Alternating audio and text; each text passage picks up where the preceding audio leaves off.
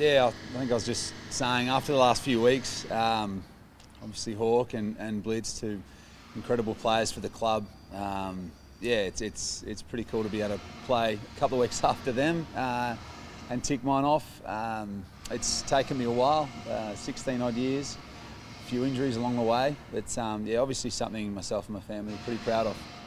Do you ever doubt you get to this milestone? Um, I think there are times when you're sort of constantly sitting on the side. Um, you know, trips to Germany to fix hammies and things like you know. It's, it's so early days. I, I, sort of battled with a few injuries I couldn't really get over, and then I think the move to Geelong was, um, yeah, it was a real blessing. Uh, it, um, yeah, reinvigorated sort of my, my footy, and and, uh, and and from that point, I, I, probably didn't doubt as much that I'd, I'd get there, but um, certainly along the journey, there there was times. Did you ever come across a like no, no, never, never got, never got to that point. Um, I think you know the way contracts worked. I was always sort of, I always had time, which was, uh, you know, I was obviously very lucky in that respect. Um, but yeah, I, I, yeah, there, there are parts, there are times where you're just spending time on the sidelines, going, oh, am I just going to keep tearing hammies? Am I going to keep, you know, pulling this and that? And uh, and then, you know, like I said, the blessing in disguise was, I guess, you know, coming here and getting getting strong, working with some some really good uh, S and C coaches, and um, getting my body right. So what's the what's the trick to, to all the, you know, the footy players out there suffering soft tissue injuries? Like what's the what's the trick?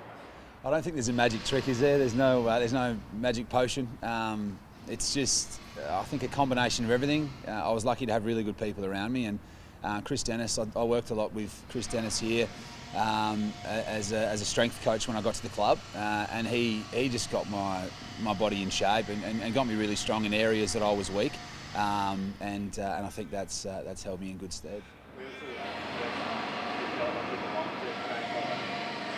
Uh, oh, I think it was early days. I played a played a few um, games early uh, at St Kilda when uh, Nick Riewoldt at the time I don't know if you remember, he ripped his hammy off the, uh, ripped his tendon uh, in his hammy and, and, spent a fair bit of time on the side, and, and, that sort of opened the door a little bit to, to play some games.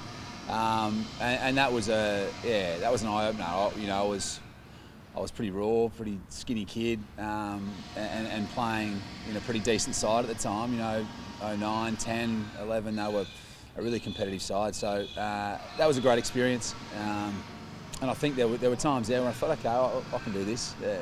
Did it take you a while to find your footy identity though? Like the player you were then, obviously you were sort of key forward one there, yeah. next to Nick Riewoldt, so to speak. Yeah.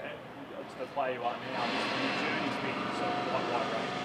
Yeah, yeah, certainly has. Um, yeah, like you said, started off sort of trying to fit into that mould, I guess. Um, and you know, yeah, I, I I wasn't going to fit into that mould. Um, he's a very unique player, um, Roo, and, and obviously it was great to learn off of someone like that and, and the other players at that club, Lenny Hayes at the time as well. Guys like that um, were, great to have around and, and, and learn from. Um, but I think, yeah, the, the, move to the ruck and, and playing that sort of versatile ruckman that can that can get forward, that, that can play a bit back, um, that's sort of uh, suited me well.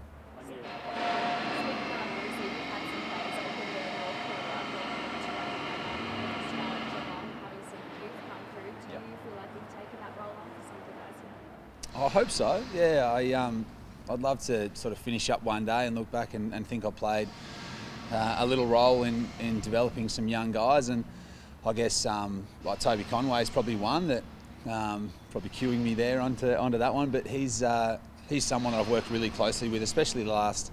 Uh, probably 18 months, couple of years. Now that he's come off the back of a few of the injuries that he had uh, through his junior, so um, yeah, certainly worked really closely with him and um, you know, a bunch of other young guys. Uh, Mitch Edwards is coming on as well, and, and, he's he's spending a bit of time in the rehab group at the moment, but looking forward to working with him as well. When you started out that post, you said, "I hope so." Is there a bit of a, a legacy there? Um, I think every player would love to have some sort of uh, impact on that next generation, whether it's um, whether it's you mark your leave sort of within the walls of the footy club and, and sort of the standards that you drive at the footy club, or or whether it is along the lines of, um, of helping those kids and, and those younger players develop uh, on the field. How do, you, how do you see that role with Toby? Obviously, he was really promising the, the other night when sort of you stepped aside and he jumped in. So much talent, still raw. How does that sort of manage, especially um, you know, for the rest of 2024 and giving him the opportunity sort of that he deserves when he gets it, and obviously your own sort of place in, in the team. How, how, how does that sort of manage? Uh, not my job to manage that one, which is probably good. But um, no, we're, we're just trying to be as available as we can be, uh, and that's that's our job, sort of taken care of. We, we'll get ourselves fit and ready to play, and um, and there'll be times where, where he'll play, there'll be times where I'll play, there'll be times where we possibly we, we both play together.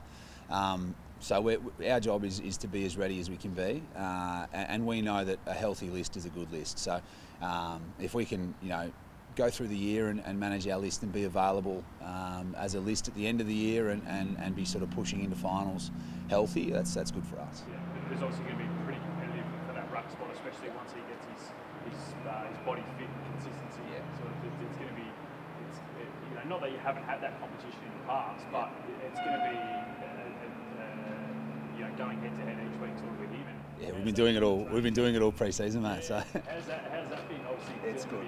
Well, it's good. It makes if, if you're not competing against someone, you're not really getting better, are you? So to have someone to go up against a training that, that, that wants it and wants to get better as well is um, it's been great for our list. Yeah, the week off seemed to do wonders for you uh, over the weekend. How do you see your performance against Timmy? Um, yeah, it was, I was yeah, it was all right. Um, we won, which was good. Um, should have kicked that goal, uh, and that would have made it a bit easier, I suppose, for us. But uh, yeah, it was um, it was all right. It was, it was good just to get out and compete. Uh, he's a great player. His follow-up works, you know, obviously up there with the, with the best in the comp. So uh, to be able to get out there and, and, and compete well against him and against a really good midfield, uh, yeah, we're, we're, sort of happy coming off the weekend, but we know there's lots of work to do. Looking back on your, your trade move, was it always Geelong? There, were other suitors there? Um, there was over a couple of years, uh, sort of, I guess, um, back end conversations, but not really. Like I, I sort of did kind of come out of nowhere, um, and then yeah, the, the move when it did become an option, and uh, and I, I thought it through with the family, um, it made sense. Um, a phone call with Scotty. That's that's as good a pitch as you need, isn't it? Obviously, contracted to the end of, of the year. How do you sort of see those discussions over, over the course of this year? And there's a lot of a lot of you guys, you know, in the same boat. Yeah. Um, you know, we're sort of every year we talk about the that are going on and Zach and Yeah. a lot of you guys. How do you sort of, how do you sit in that discussion? Uh, I'm not sure. List management probably take care of that that question, but uh, oh, we just want to play good footy and uh, and then see how our bodies are at the uh, midway point of the year and, and um, see see if the shoe fits. You know, I think that's that'll be the thing in the going into the be- uh, second half of the year is, but oh, how are we going? Are we, you know, we uh, is the team looking like uh, wanting us to go on and things like that? Um, all those conversations will start happening.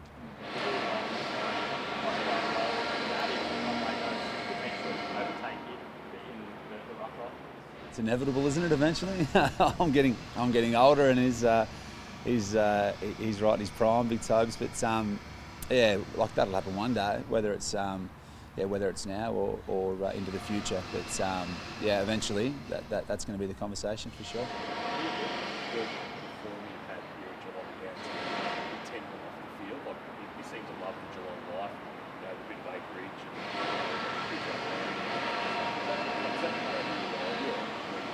Definitely, mate. Yeah, definitely. Um, yeah, obviously very settled off field and, and feel like feel like this is definitely home. Um, I've uh, yeah, I felt very settled here. That's for sure. Uh, three kids and a beautiful wife at home, and um, yeah, we managed to, to get our farm a number of years ago and building a house out there. So um, yeah, the, the community that we're surrounded by here, we're, we're incredibly lucky.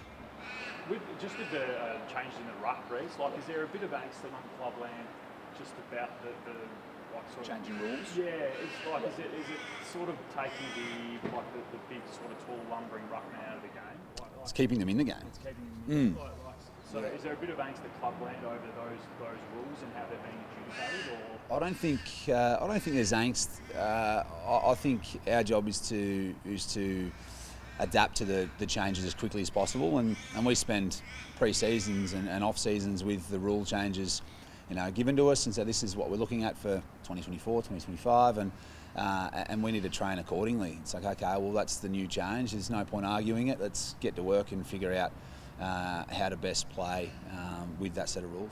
So you think they're, they're, they're good for that sort of role of the, the ruckman in the game? Yeah, the big, the big tall ruckman, uh, being able to cross the line and, and sort of check your opponent and come back to the ball, that certainly suits the, the big guys.